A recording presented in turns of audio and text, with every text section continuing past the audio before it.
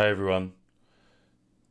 It's already in a couple of videos this this week or in this series we've covered quite a lot to do with Microsoft Azure.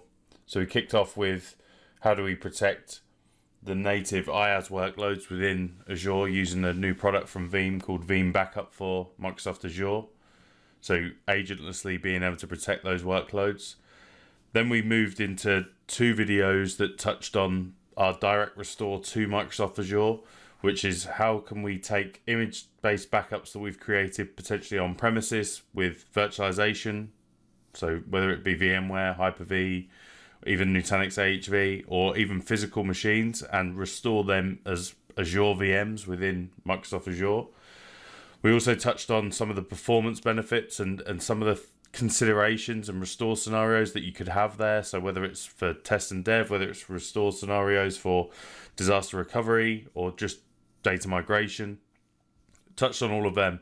And I think to round this series out would be quite fitting to actually have a look at um, our capacity tier or how do we leverage Microsoft Azure Blob Storage to store longer term retention or just to have an offsite copy in a different location in a much cheaper and more more efficient way storing that into into object storage. So I'm going to touch on what that looks like. So I'm going to create it and then I'm going to touch on what the differences are between what we have from a, a copy mode and a move mode. So and, and let's get into that. So if I jump over to my Azure portal, you can see that I've actually got a few test storage accounts, if you will. So if I jump into here, under storage accounts, this is what you're going to need to do first, is you're going to potentially need to go and create this, well, this storage account. So I'm going to run through what this looks like. So again, you choose your subscription. So I've got a couple, but I'm going to use the Visual Studio. Then we choose where we want that to be in terms of resources. We can give it a name as well. So let's say um, Test vZilla is probably not taken. Um, and then US East, just because that's right near my my lab choose the account kind, the replication, etc. What you want to achieve with that. For test purposes, I generally just just keep it as as the standard. I don't need premium performance. I don't need particular different storage types. There's there's two types I think or three types. Um, and then I don't need any particular geo redundant pieces. Um, network connectivity, how do we want to get that? It's going to be consumed outside of Azure, most likely. It will be in my test instance whether we want things like security or, and their own data protection, and whether we want to leverage that as a data lake, any particular tags that you want to add on to that. And really, that's all you need to do to create that storage group, or sorry, that storage account. So test vZilla, you need to remember that one. And then once this is in there, so it doesn't take very long at all, is then we need to go and create a container that is where we're going to well we're going to start to see the breakdown of of how so we create a we create a storage account we create a container and then we create a folder within that container that is where we're going to be writing our our backups to. So as soon as this is finished then we'll jump back into veeam backup replication. And then we can quickly add this container. So again let's just call this the Zilla and we're going to say that I want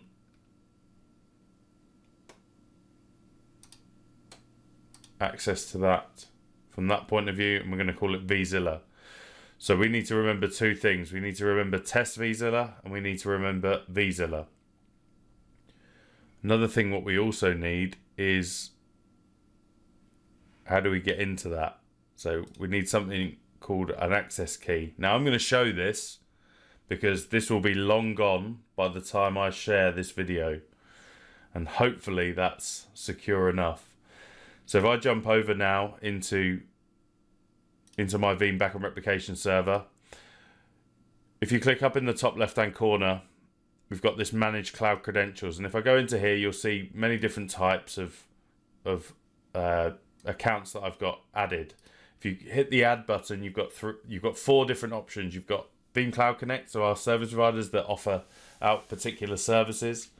We've got an AWS access key, and then we've got one storage account, which is what we're going to be using today, and then also that Azure compute account, which is what you'd use for the direct restore to Azure. So in the storage account, we're going to say test vZilla as the account, and we're going to paste that long shared key in there that will be long gone by the time we get get this video published hopefully. So that's that added. Then if we jump down to our backup infrastructure and we go to our backup repositories on the left hand side if we right click here or even up here in the top left hand corner we can get our options of what backup repository we actually want to add. So object repository then we choose which one we want. So I want Microsoft Azure Blob Storage, and I want Azure Blob Storage and not Azure Data Box. Let's just call this Test vZilla just for my sanity. We're then going to choose which account we want that to be authenticated against and which region that is in. So you can see a few different sorts there. By default, it's the global. Hopefully, with everything that we've done, this will work and it will allow me then to choose the container. Now there's only one container. If we choose multiple containers, that's absolutely fine. We just choose from the drop down. In fact, I'll show you in a bit how that looks. But yeah, it ultimately that's a it's the first um, bit of hierarchy that we see within within here. So now we don't have a folder created. So let's say I want to keep my backups here, or let's say we want to call it cloud tier, or let's call it vZilla tier. So this is where I want to store those those backups that I want to tier into, and let's get onto that in a in a second as well. We can also limit the object storage consumption. So if you know that you want to put a soft limit in place, a quota per se, we can do that here as well. And what this is going to do is just going to create that. Now, this can be used on its own using our NAS backup. We can run through a, a backup job, and I'll quickly show that because I don't want to. Uh, I don't want to hijack the whole session talking about NAS, but if we look down here, we've got our backup repository, which is going to go to a short-term retention, which is going to be local. Then we've got our archive repository, which can be that one that I just added, the test, test vZilla. And that will drip down older file versions into that. Anyway, back to the um, Azure Blob Storage. So now we've got that. Now what I want to do is I just for the purposes of creating another uh, a local backup repository because our scale out backup repository works in two well with two flavors of repository so just for just for simplicity I'm just going to call it this and I'll remove it afterwards but it works in a performance tier and it works into the capacity tier. So for the capacity tier is going to be our object storage and for this particular demo we're going to use a local backup repository called vZilla. It's already got everything installed because this is already acting as that. So this shouldn't take too long. And I encourage everyone, anyone running or installing or configuring Veeam these days should be really looking at using the scale out backup repository to begin with.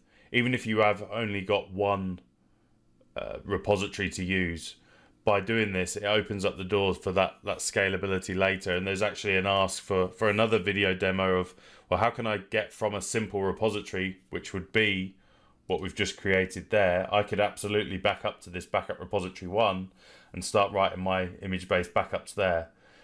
But once you've done that, you can't then add that to a scale-out backup repository. So, and maybe that's another video for another time. So I want to add a new scale-out backup repository. I'm going to add my extent. So you see that new one that we've just created.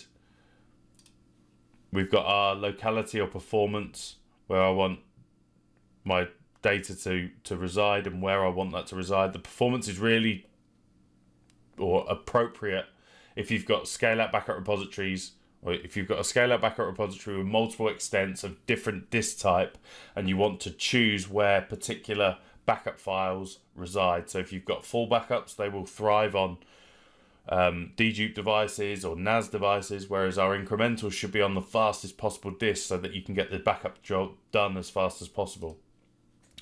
Next up, we choose whether we want to use that capacity tier. And this is the point where I said you should be using scale out backup repositories regardless, because you don't have to have a capacity tier enabled. But in this instance, I want to enable that and I want to choose my new test test vZilla. And now you've got two options. So in version 9.5, which was released at the beginning of 2019, you only had this option. And think of this as a as a drip. So your backup jobs will have a retention and they might be 30 days. But you might also add this sort of number to your performance tier, which will keep 14 days locally, but we need to keep 30 days of the whole entire data set. So we're gonna we're gonna um, tier down those 14 plus days down into object storage for cheaper, longer term retention. In version 10 that came out at the beginning of um, 2020, we've now got the ability to do copy backups to object storage. So think about as they land in our performance tier, they're also going to be sent to our capacity tier. Ideal for those scenarios around failure, um, disaster recovery, migrations, etc. Being able to get that and having a copy of that data in a secondary location.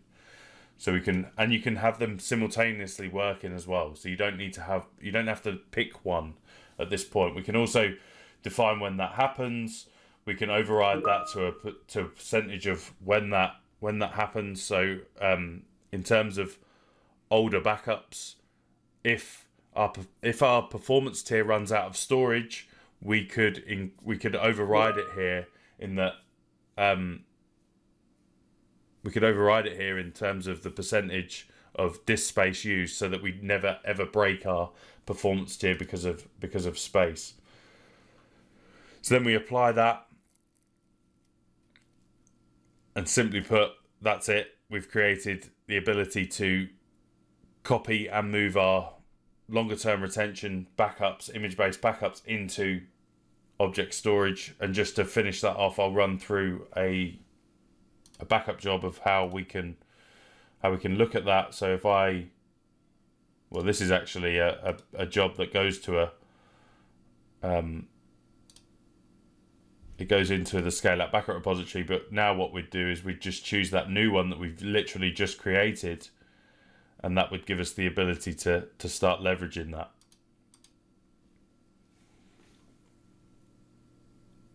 Hopefully that was useful. If there's any questions, then reach out to me on Twitter at Michael Cade1. If there's anything that maybe I haven't covered that you think would be useful to see, then again, reach out on on Twitter or in the comments below. I will also put a description, or in the description, I will put in some of the links to the other videos that all relate to this Microsoft Azure. And I think coming up next, I think there's loads more Azure stuff or loads more Microsoft focus that we can touch on around Office 365 and, and various different things there. So I think that's where we're going to go next. And then literally, there's so many things that we can talk about from a Veeam point of view. So let me um, leave it leave it with you there. And yeah, any questions, let me know. Thanks.